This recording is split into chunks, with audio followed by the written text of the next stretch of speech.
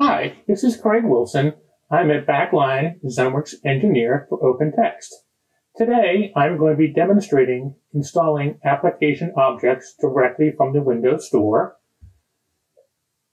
The two sample objects I'm going to install are Digitrack, which is a user-based application, and Firefox, which installs to the system. Currently, my system is totally disconnected from ZenWorks, and this will demonstrate our ability to install applications even when there is no connection to the corporate network or even a ZenWorks server. Uh, the join proxy is only for remote control. It is not used for installing applications. Uh, in the command line below, you can see that Firefox is not currently installed. Winget list is an option to see installed applications. Also, there is no reference to Digitrack. So the first thing I'm going to do, I'm just going to click on open for Digitrack and I'll sit and watch while it installs.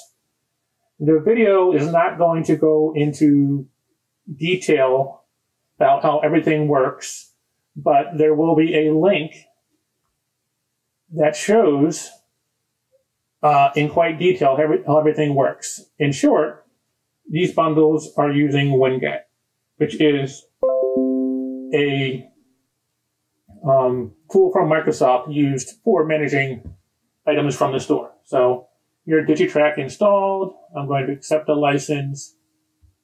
And up here, you can now see that LWD Mobile Digitrack is now installed and it also launched automatically. I am now going to open and install Firefox. Uh, and the one interesting thing about the Digitrack Mobile, you'll notice there is no, it's an advertised shortcut.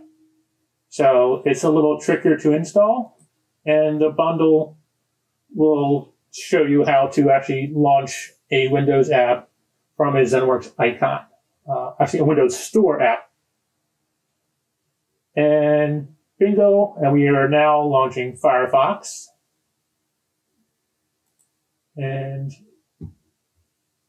we launch it up to the tips and information for ZenWorks. I am now going to go up and run winget list again, which will list my installed applications. And I'm going to search for Firefox. And magically, Firefox is now installed. So thanks for watching my quick demo, and please follow the link in the video that shows all the nitty gritty details about how you can start delivering applications from the Microsoft Store with ZenWorks. Thank you very much.